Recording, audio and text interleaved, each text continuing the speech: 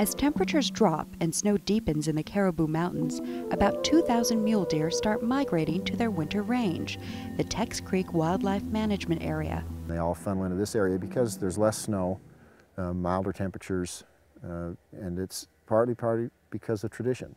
Deer come here because this is where they've always come. Tex Creek provides good food and a safe harbor for wintering deer, but even here, some don't live through the winter. When they get onto winter range, their body system actually forces them to eat less and the body condition actually will decline through the winter, even on the best of winter ranges.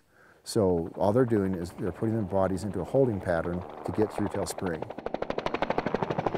For the last five years, fish and game biologists have collared and monitored mule deer to learn why individual deer live or die, especially fawns facing their first winter. 95 and a half. They found that the weight gained by deer on their summer range makes the biggest difference. If you can bring a fawn into the uh, winter range that weighs 90 pounds as opposed to 60 pounds, that fawn has a much better chance of survival.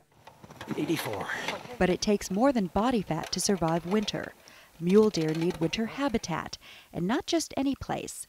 They are intensely loyal to a home winter range. They come here because mother came here and grandmother came here and great grandma came here. Deer when they get to their final winter range, that's where they're going to stay, live or die. Tex Creek deer nearly lost 2,300 acres of critical winter range in 1997. It was up for sale as development land. But instead of sprouting houses, it became part of the wildlife management area, preserving a home winter range and a vital link in the migration cycle of hundreds of deer. Migration has told us that uh, that they need specific habitats at specific times of year. It's not just winter range, it's not just summer range, and it's not just transition range. It's all of that put together, and you take out one link, and that chain will fall apart. Michelle Hicks, Idaho Fish and Game.